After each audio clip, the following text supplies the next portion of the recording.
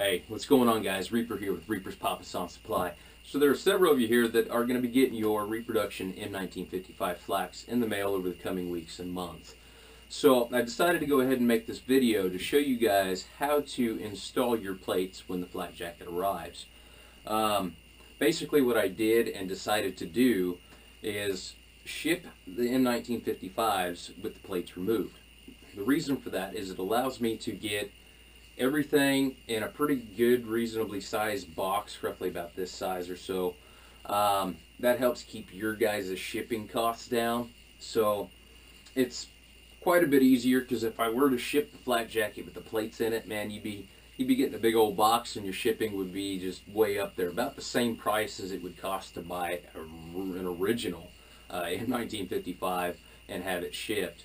And the downside to that is, well, they're they're big, they're bulky, and you can't take them apart. And they weigh about mm, 12, 13 pounds for original, depending on the size. Uh, my reproductions weigh a couple pounds less than an original. So you're still looking at the weight factor there, and the bigger box you get into that's not a flat rate is going to run quite a bit more. But anyway, guys, I know a lot of you, when you get your M1955 in the mail, you're going to be super excited you're going to tear open that box and you're going to be like, what the hell? Don't panic. Yeah, installing the plates is super quick, super easy. It, it, you know, it's really self-explanatory too, but I'm going to show you in this video real quick.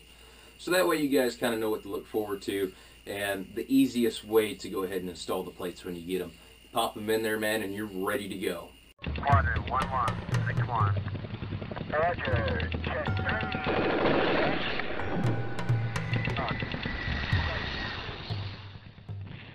Alright guys, so as you can see here, there are several plates in a plate carrying system for the M1955s.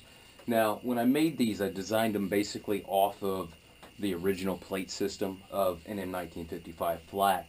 I just changed some things up a little bit. That way it's easier to add and or remove your plates at any time. And this kind of helps people who are uh, outside of the United States that would like to have a reproduction M1955 or just a re, just a M1955 period. Um, the unfortunate thing is buying an original is costly, and then having it shipped outside of the U.S.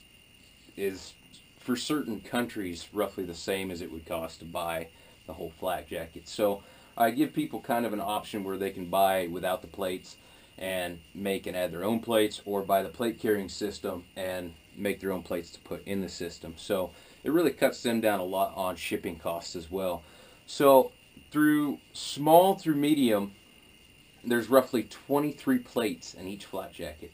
Uh, getting up into a large, you're looking at roughly 26, 25, somewhere in there.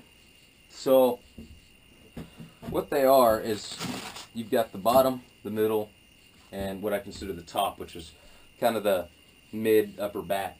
And then you have two single plates which go right around the breastplate area. So the middle and the bottom are basically a two plate system. This they overlap each other just slightly. But anyway guys, what I usually like to do is go ahead and add either the two breastplates first or the rear upper plate first. Um, either the two does not matter, but uh, we'll start with the two front breastplates. Now, with an original M1955 flak, this area right here is usually stitched together about like that. It's just a small half inch stitch. Um, I left mine open to allow and help with easy installation and removable plates. Now, if you get your flak jacket and you decide that you just want to keep your plates in, uh, and not worry about taking them out. You can easily stitch that up. It takes a couple minutes to do. So you open at the bottom here, and again, it's kind of the same thing.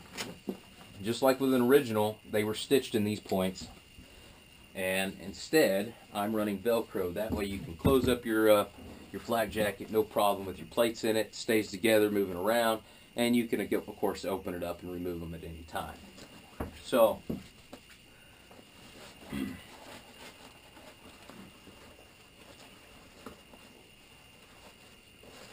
Now the breastplates are a little bit harder, and probably what will happen when I ship the flak jackets, um, the breastplates will already be installed in the flak jacket. That way, that's one less thing you guys have to do. Um, I'm still able to easily fold up the flak jacket and put the plates in the same box with no problem. It's just when the whole plate system is together inside the flak jacket, makes for uh, a pretty rough time getting it in a smaller box. Alright guys, now what I like to do when installing the, uh, the larger inner plates, I usually start with the upper back piece and I go from corner to corner. That way when you attach it to the Velcro, you can just step it down and follow it. That kind of eliminates, once you put it on, looking at it and seeing all these, these weird creases and wrinkles in it where the Velcro overstepped itself. So anyway, that one's in. Now, the next one you might want to do, and it, it's entirely up to you. You play with it when you get it. You decide which way you want to do it. There again, if you're only going to be doing it once, then you don't have to worry about it. Um, it's easier to go ahead and just step on down. Now, with these, these become a little more difficult. Since you don't have quite as much room, you have to, panel up in here. And made it up with the Velcro. Now, with the originals, they come out just about to the edge right here. So, when you do this, you want to get that corner in there and then just start kind of stretching out the flak vest as much as possible to straighten up the velcro and then continue just to attach it.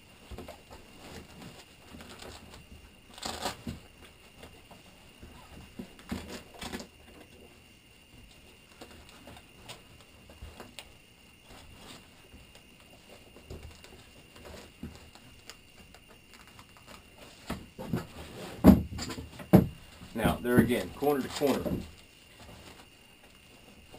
When I say that, I'll bring, I'll do one side of the plate system first, and then when it comes to that bungee area, I'll switch it back over and go to the next side.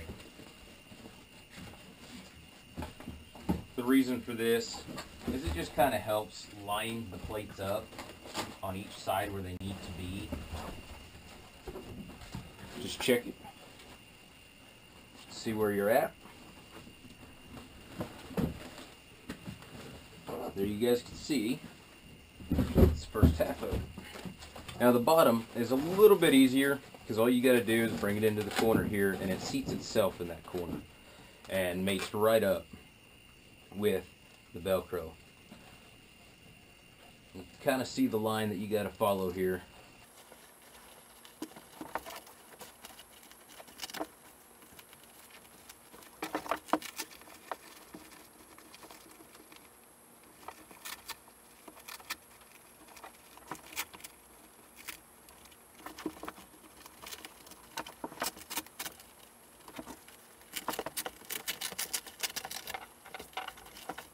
There you guys have it.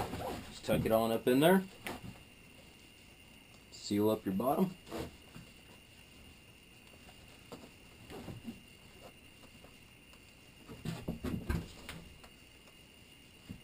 Pick up your flak.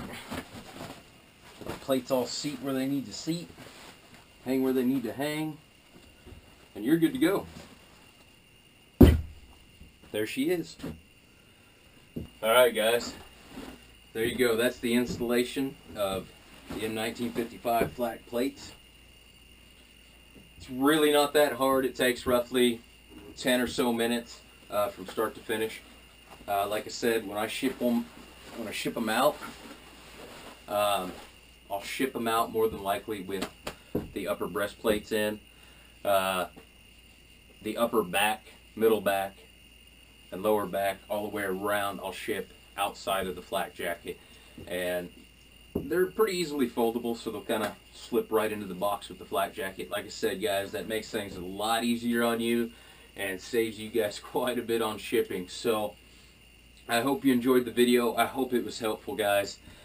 When you get your M1955s, I hope you guys love them. Man, I hope you go out and you thrash them, you wear them just like you would have if you were actually serving in the Marine Corps in Vietnam. I, that's that's what it's all about because I know a lot of guys, especially myself, I've destroyed a lot of original gear, and a couple M1955 flaks are on that list, and I hated myself for it.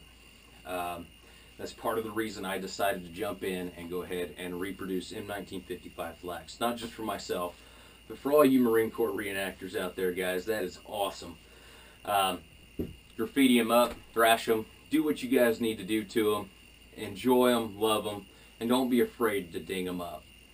Um, furthermore, guys, I can't wait to see your reviews, your photos, and anything else you got to say after you get the M1955 flaks.